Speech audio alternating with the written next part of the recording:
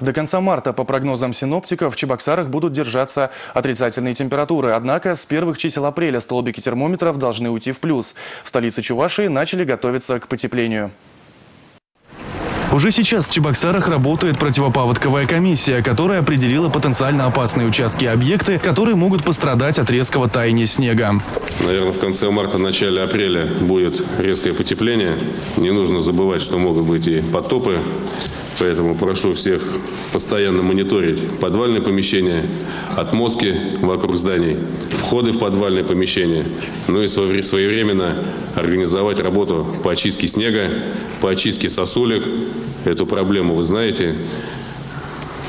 Утром еще нет сосульки, а в обед она уже может представлять собой угрозу. И поэтому нужно контролировать крыши всех жилых и нежилых зданий.